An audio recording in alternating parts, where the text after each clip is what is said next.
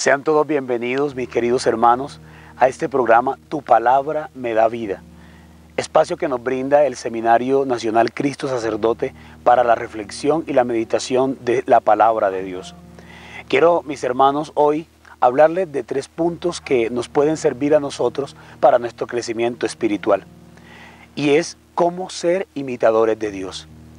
Este tema quiero que lo profundicemos a partir de una reflexión que hace Gregorio de Niza en el tomo número 3 de la liturgia de las horas, lectura patrística. Y él nos dice que nosotros debemos tener en unión o en función tres puntos claves. El primero, el pensamiento. El segundo, la forma de hablar. Y el tercero, la acción. Estas tres funciones que deben concordar y las cuales nos deben llevar a nosotros a anunciar con nuestra propia vida a Cristo nuestro Señor. Nosotros ponemos como primero el pensamiento porque es allí donde se da toda la inspiración que Dios tiene para nosotros, donde se fragua esa unión que yo quiero tener con Dios, sea también un pensamiento bueno o sea un pensamiento malo. Y lo segundo, ya la parte de el hablar, que el hablar expresa lo que yo pienso y lo que yo siento, sea bueno o sea malo. Y la tercera, muy importante, la acción que va definiendo todo lo que es mi personalidad y todo lo que yo quiero hacer. Un criterio de discernimiento para eso, dice Gregorio de Niza, es que siempre nosotros pensemos en lo que Dios quiere de nosotros, en lo que Dios quiere hacer por medio de nosotros. ¿Cómo son tus pensamientos? ¿Cómo direccionas tus pensamientos? ¿Será que tus pensamientos van en dirección a Dios? ¿Será que cuando un pensamiento viene a tu cabeza y que tú no quieres y que tú no quieres concebir, será que al contrario te deleitas en él o sencillamente dices voy a rechazarlo pensando en cosas santas, pensando en lo bueno que Dios tiene para mí? En el hablar. Quiero que nosotros hoy meditemos, cada uno de nosotros, cómo son nuestras conversaciones, qué tinte llevan nuestras conversaciones ¿Será que nuestras conversaciones llevan un doble sentido? Recordemos algo, mis hermanos. La palabra de Dios dice que no salga de vuestra boca palabra desedificante, sino aquella que edifique el reino de Dios. Y tercero, la acción, muy importante, porque en la acción es donde se hace creíble lo que yo predico, lo que yo pienso, lo que yo digo. Es allí donde yo saco al ruedo todo lo que yo he dicho y todo lo que yo planeo. Mis hermanos, que hoy en este día nosotros podamos aprender a ser imitadores de Dios, conectando todo, pensamiento, palabra y las acciones, porque necesitamos que el mundo sea movido hoy, sea movido con lo que escribo en Facebook, en las redes sociales, sea movido con lo que hablo en mi familia y también sea movido con el testimonio, un testimonio de vida, que todo lo que yo haga como padre de familia, como seminarista, sacerdote religioso, religiosa, y como cualquier persona de la sociedad, muestre el amor de un Dios que nos ama. Benedicto XVI bellamente dice que el Espíritu Santo es el guía necesario para nuestra oración. Te quiero invitar para que allí donde estás en este momento invoquemos la presencia viva del Espíritu Santo. Te invito para que cierres tus ojos y le pedimos al Padre en el nombre poderoso de Jesús que derrame la fuerza de su Espíritu sobre cada uno de nosotros. Espíritu Santo, ven, ven a llenarnos el corazón, ven a llenarnos el alma, ven y danos vida porque la necesitamos y queremos que tú nos levantes. Fortalece nuestra fe, ayúdanos a ver a Dios en todo momento, en toda circunstancia, en los momentos buenos, en los momentos malos. Espíritu, acércanos a Jesús. Gloria al Padre, al Hijo y al Espíritu Santo, como era en el principio, ahora y siempre, por los siglos de los siglos. Amén. Del Santo Evangelio según San Juan. En aquel tiempo los judíos murmuraban de él porque había dicho, yo soy el pan que ha bajado del cielo. Y se preguntaban, ¿no es este Jesús, hijo de José? Cuyo padre y madre conocemos, ¿cómo puede decir ahora, he bajado del cielo? Jesús le respondió, no murmuréis entre vosotros, Nadie puede venir a mí si el Padre que me envía no lo atrae. Y yo le resucitaré el último día.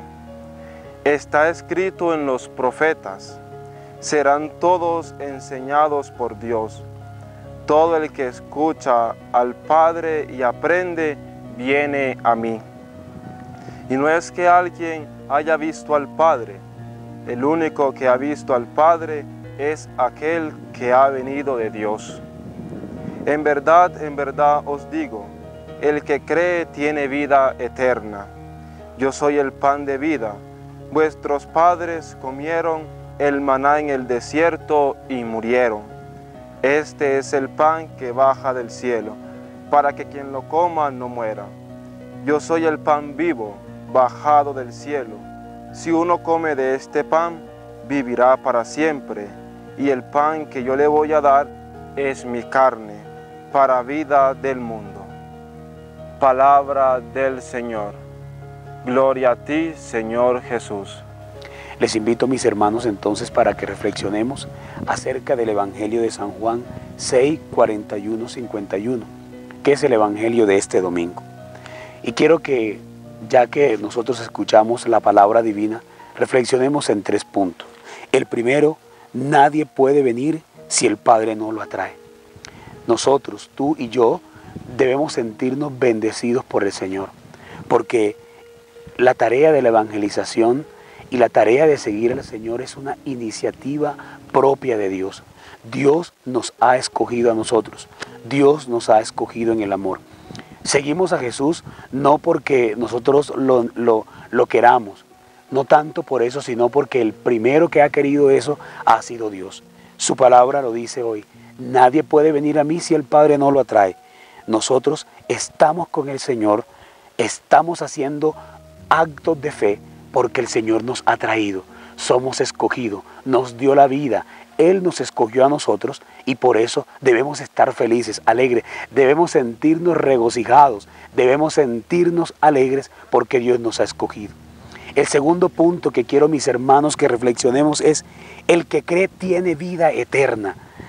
Dice Benedicto XVI, la fe cristiana no es una ideología, sino un encuentro personal con Cristo crucificado y resucitado.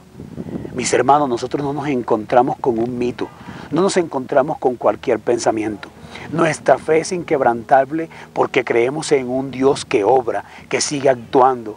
Ese que en su palabra dice que pasó por este mundo haciendo el bien, todavía sigue pasando. Ese que todavía amó, que amó hasta el extremo, todavía hoy sigue amando al extremo. ¿Qué espera Él de ti? Espera una fe inquebrantable en Él en todo momento. El tercer punto que quiero que nosotros reflexionemos es ese que dice el Señor, yo soy el pan vivo que ha bajado del cielo. Yo soy el pan vivo que ha bajado del cielo. Estas palabras hoy siguen resonando en la iglesia, siguen resonando en cada Eucaristía, sea que tú la veas alegre, sea que tú la veas triste, como tú la veas, no importa, siempre allí está Jesús. ¿Para qué? Para darte vida, para darte alegría, para darte lo que tú necesitas. Yo soy el pan vivo que ha bajado del cielo. Ese pan vivo nos da alegría, nos trae la alegría que nosotros necesitemos. Quiero compartirte algo muy pequeño, muy, muy corto, un testimonio que me sucedió. El Señor, por una prueba dura que, que estoy pasando, una vez estaba muy triste y recordé esa canción que dice, gozo, gozo yo quería, pero lo buscaba donde no lo había. Pero hay una parte muy hermosa que dice, si tú estás triste y no sabes qué hacer, pídele a Jesucristo y Él te irá a atender. Cuando recibí la comunión, en medio de mi tristeza me acordé de esa frase, si estás triste, pídele a Jesucristo. Y me recordé que en la Eucaristía estaba el pan vivo bajado del cielo. Y le dije, Jesús, estoy triste, ven a atenderme. En ese momento me sentí, al paso del tiempo, sentí la alegría, el gozo que viene de Dios. Quiero dejarte un compromiso a ti. Cuando estés triste, cuando estés feliz, no te olvides de buscar a Jesús en la Eucaristía. Ve al oratorio más cercano, ve a la capilla más cercana. Ese es el compromiso. Ojo, un compromiso de amor, donde el principal beneficiado eres tú. No tanto Dios, eres tú. Hermanos, gracias por acompañarnos en este su programa Tu palabra me da vida. Les invitamos para que nos sigan acompañando en nuestras redes sociales, Facebook, Twitter y YouTube, y en nuestra página institucional www.cristosacerdote.org. Dios les bendiga.